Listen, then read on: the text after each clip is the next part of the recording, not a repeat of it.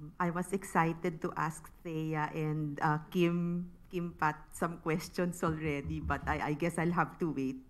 Uh, so, uh, and maybe include this discussion in our um, um, discussion later on uh, after this session. So thank you um, to the organizers for inviting me to speak about um, a topic that is being recognized or is recognized as one of the most critical in uh, public health now, which is vaccine hesitancy. And uh, maybe what I'd like to do for the next few minutes is situate this in the Philippine context. There isn't a lot of data. I'd like to thank the DOH team for giving me access to the most recent surveys, which I'll be sharing with you. But the focus will really be to talk about um, some questions, specifically what it is, second, what is the extent of the problem, and third, why it happens. So, hesitancy is a very complex um, behavioral issue, and um, it has a lot of interrelated determinants. However, um, one approach is really to try to um, understand it in a more systematic manner by exploring different influences as well as uh, vaccine and vaccination specific issues, and also to try to diagnose uh, underlying reasons, which should focus on differentiating between barriers related to acceptance and access. So although we tend to lump them all together as ay ayaw nila, sorry. So we lump them all together as parang one uh, behavior. They're really different um, considerations, and being able to define the problem well is a large step towards solving it. So when we talk about addressing vaccine hesitancy, we need to understand the magnitude and the setting of the problem. We need to talk about the diagnosis of the root causes, understand um, some evidence-based strategies to address it, and also implement monitoring and evaluation to determine the impact and sustainability of the intervention. So when we talk about what this is all about, we're actually thinking within the box of um, diagnosis. No, we we want to be able to define the problem well enough so that we understand uh, well as much as we can about it, so we can propose good solutions. So the definitions have evolved over time. Initially, in 2014, when this was being recognized on a global scale, um, the definition was fairly simple and it just involved a delay in acceptance or refusal of vaccination despite the vaccines being available. However, um, there has been a better appreciation of the different factors involved in, in vaccine hesitancy. And um, now we think about this as a motivational state of being conflicted or opposed to getting vaccinated. And this recognizes hesitancy as an intention or motivation that's separate to the resulting behavior. So what does this mean? A person may be hesitant, but they'll end up getting the vaccine anyway, right? And we've seen this very clearly in, in the COVID pandemic. There are lots of people who didn't want to be vaccinated, but what did they end up doing? They got vaccinated because they couldn't go to work, they couldn't ride public transport, and so on and so forth. So you can actually decouple hesitancy from the behavior. And much as we don't want to express it this way, the end result is really getting people vaccinated regardless. No? So from the public health perspective, that's very important. And it enables the behaviors and their influences to be better understood and measured separately. So I think this second uh, definition is something that's worth mulling over and um, trying to uh, operationalize no, in our um, different uh, organizations and settings so that we get the outputs that we need. So um, I'm sure you're quite familiar with this diagram already. Vaccine hesitancy, vaccine acceptance, vaccine confidence, it's a continuum. It's not just a single entity. And you can actually um, classify people according to levels of severity. Para ding sakit, di ba? Kung uh, may sakit tayong sinasabing mild, moderate, or severe, ang vaccine confidence, vaccine hesitancy, vaccine acceptance is also uh, classifiable into degrees of severity. And there are people who are very active. Alam natin yung mga vaccine addict, nakakasampung doses na, ayaw pa rin tumigil. Meron din namang, sige na nga, kasi yung kapitbahay ko, nagbabakuna, kasama na ako dyan. Meron namang pwede bang tapos ito ayoko or this only this kind and I don't like the other other platforms and there are those na patayin mo na ako I will not be vaccinated no so we know all sorts of people and um, eh, this is really very familiar and very real to us now. So there are um, heterogeneous groups. They have varying levels of indecision. There are people who accept all. There's people who delay some. There are people who uh, refuse all. And I think realizing that this is um, the the uh, how would you put this? The characteristic of the problem is is really also very important to us so let's go now to the uh, next question which is what is the extent of the problem so um, uh, Thea showed us earlier the story of John Snow. So I'd like to show you a little bit of history also.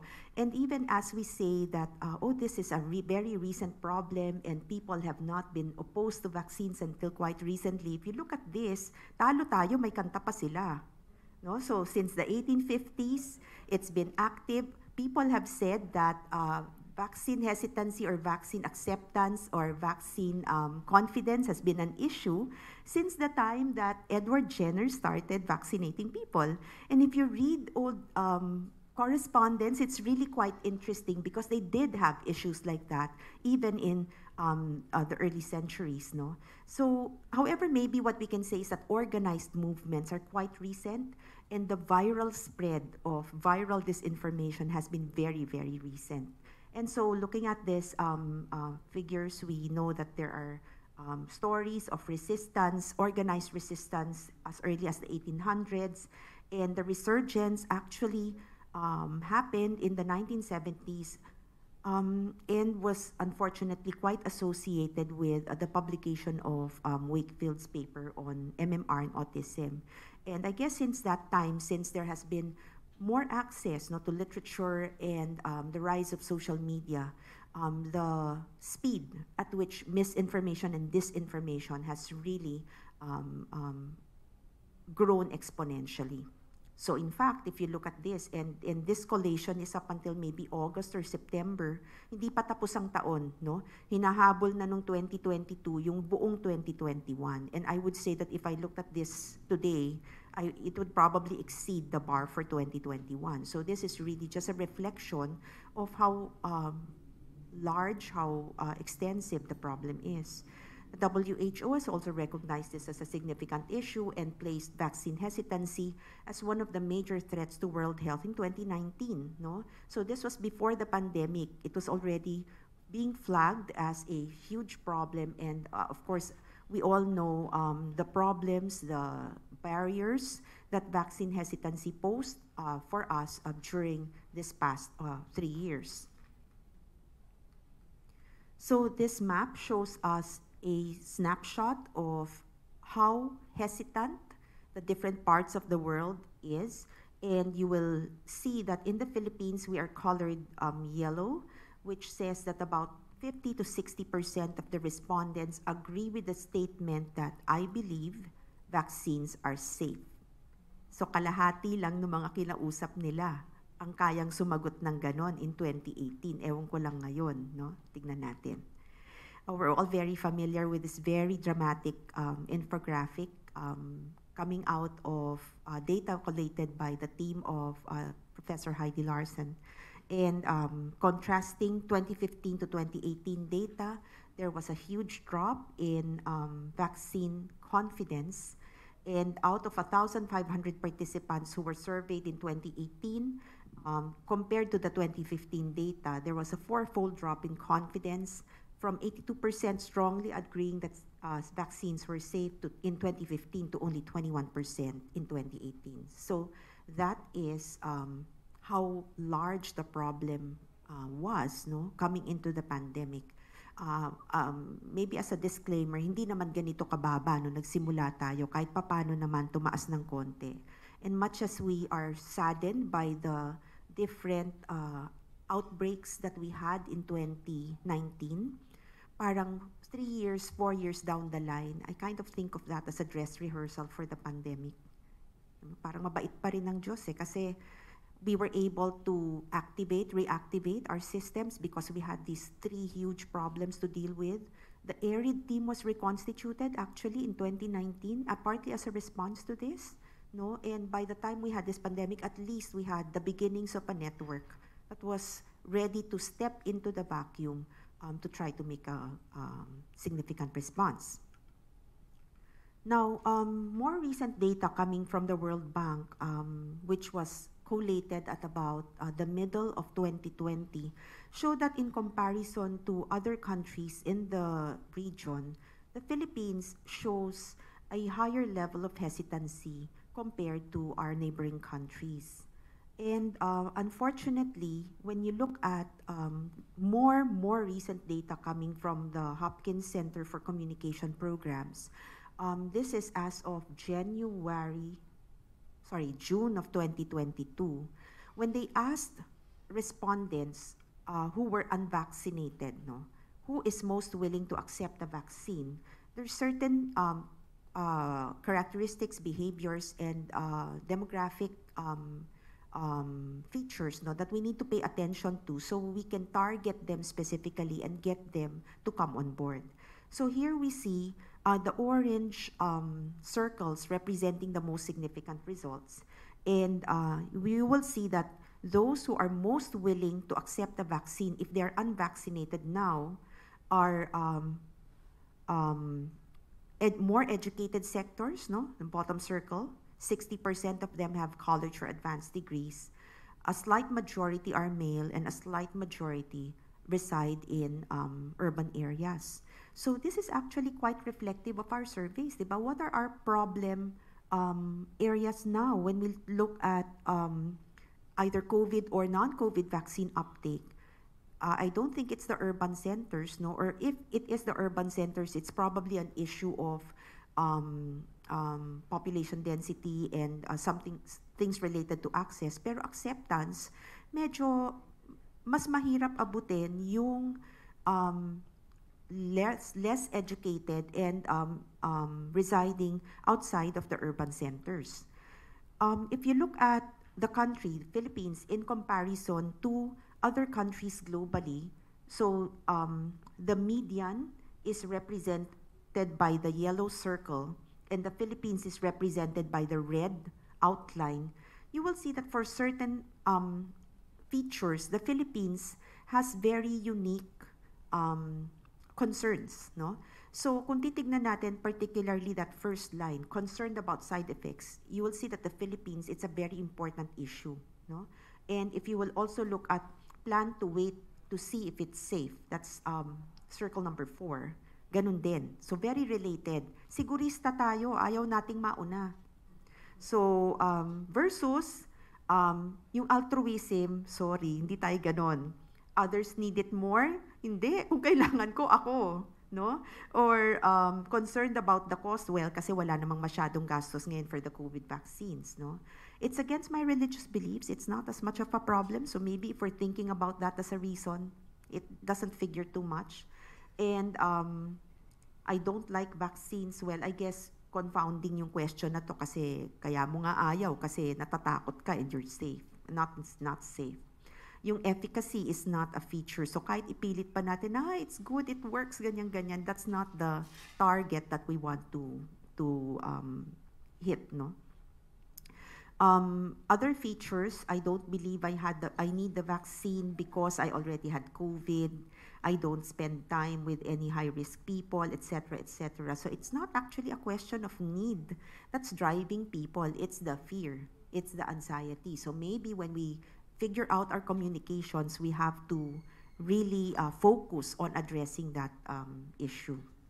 So one other thing that was quite an eye-opener for me is that when you look at the people who are unvaccinated and you've tried to figure out why they're not being vaccinated, it's not as much structural barriers because if you look at this, they're not saying because I'm not eligible or I don't have access or the appointment didn't work. Although meron naman, may mga ganun ang dahilan, no? But everything is less than 20%. So logistics is not the barrier. It's going back to this, no? I think this is quite striking. It's the fear. It's the anxiety, it's the worry, no? So medyo matatakutin talaga tayo. Sigurista tayo, ayaw nating mauna. Okay. So, on the other hand, no, nakakatawa. Hindi ka nagpabakuna pero kung yung anak mo, okay siya. Kasi if you look at this, if you ask the group of people who were unvaccinated and uh, uh, left them with the question of, will you have your child vaccinated once they're eligible? The answer is definitely higher than 50%. So they're willing to have their kids vaccinated. Wag lang ako, pero yung anak ko okay. But maybe, I'm sorry, but they didn't uh, check the motivations for this, no? Baka naman kasi ang feeling ng mga tao is um, kasi kailangan ng bata, bata yan binabakunahan, so on and so forth. So this would be interesting to tease out, okay? So um, the WHO also has uh, data coming from their Ipsos survey. This was uh, conducted in July of 2022.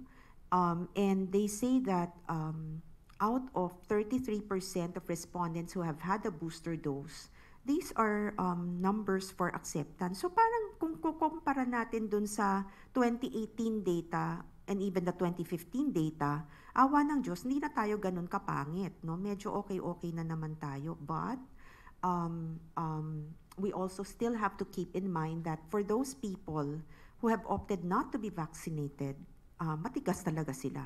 No? And they, they represent the last mile that we have to reach. So why does it happen? The many models are in place. It's a behavior. There are many issues that influence this. There's the three C's model of confidence, complacency, and convenience. So we think about um, issues of trust as one of the paramount barriers that we have to surmount. Um, I think uh, we have to realize and accept the fact that the dengue vaccine controversy was really huge for us.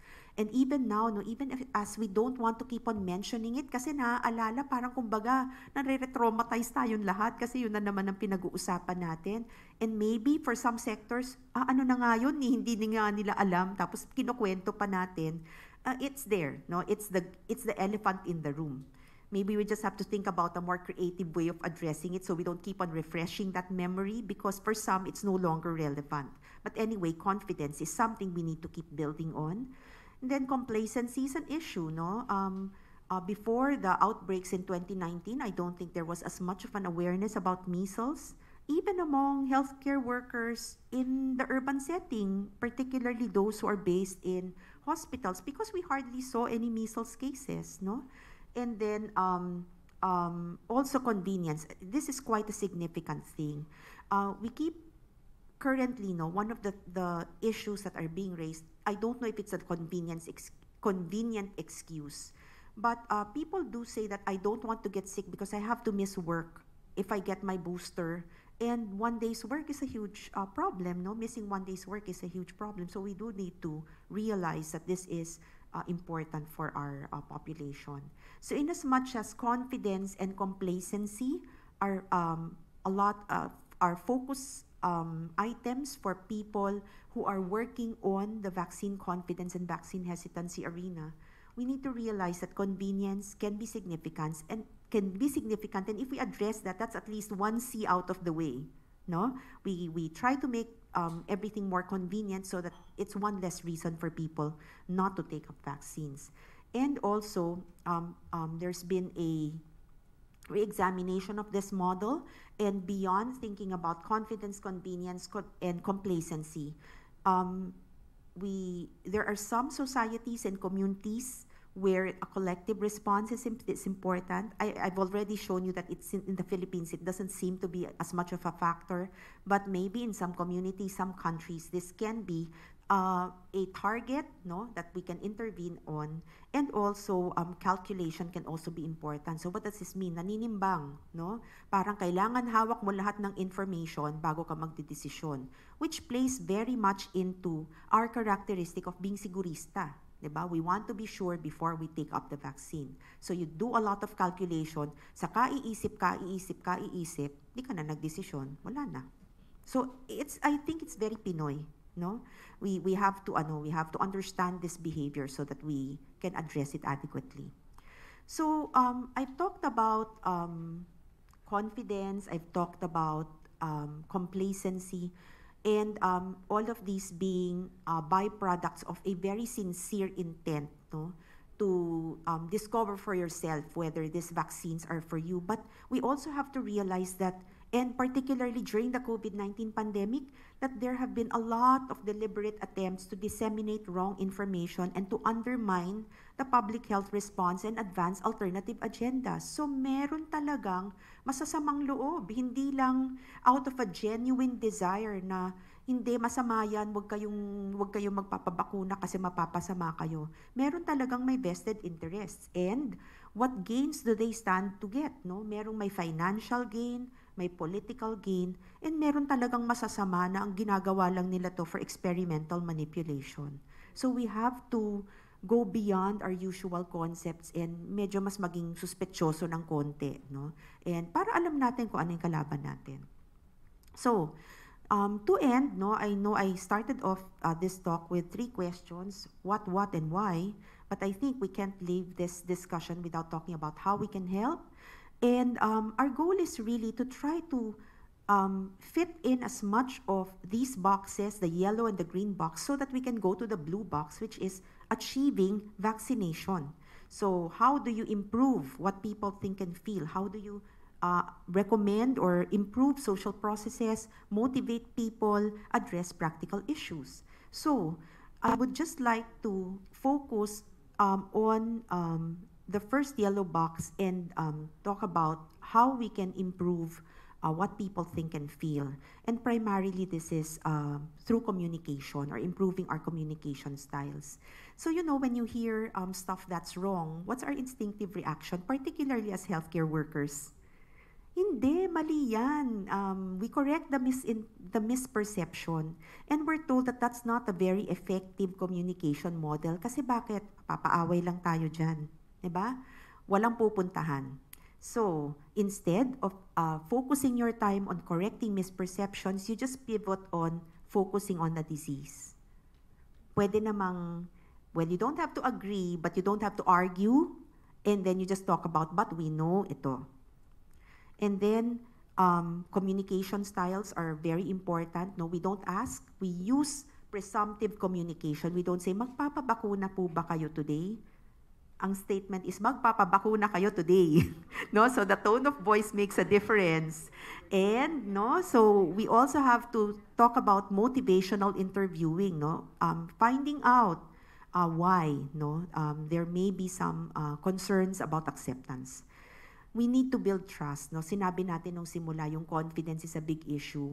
I think as clinicians, as uh, healthcare professionals, ang ating approach is, ay kaya yan hindi nagpapabakuna kasi hindi niya alam, hindi niya naintindihan. Kaya ang ating approach is information, information, information, when in fact, hindi yun ang problema.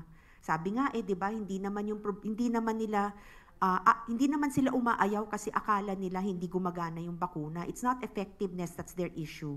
It's the worry about the safety.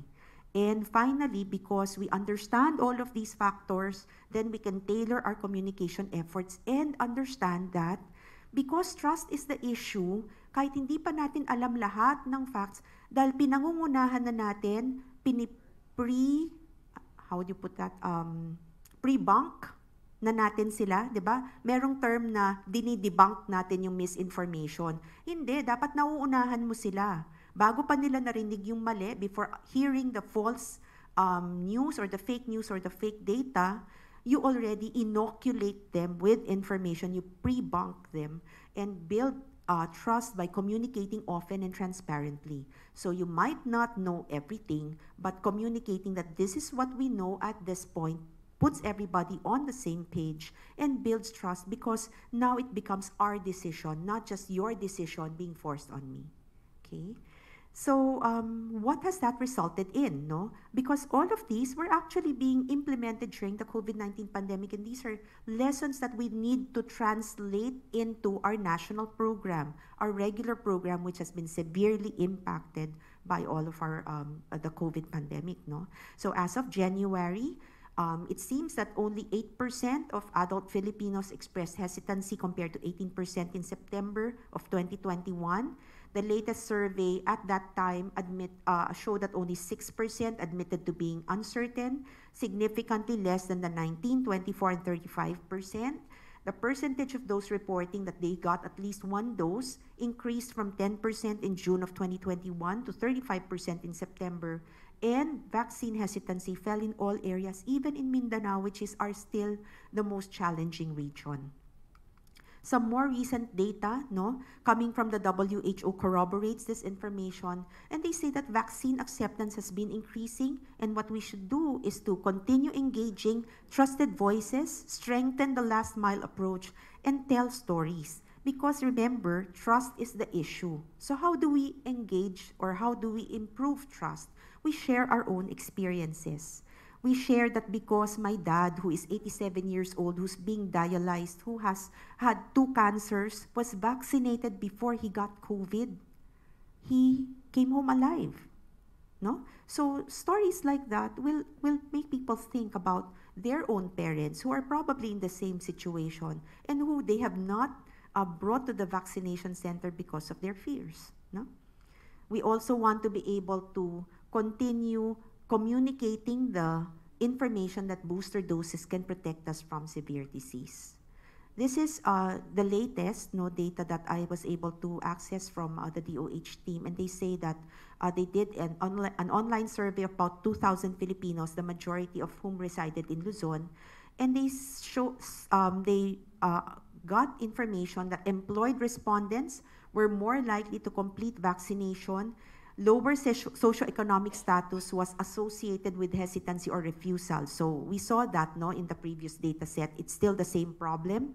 And uh, the main reason was still concern about safety. No? So it doesn't change or it hasn't changed yet. So ito pa rin dapat ang target natin.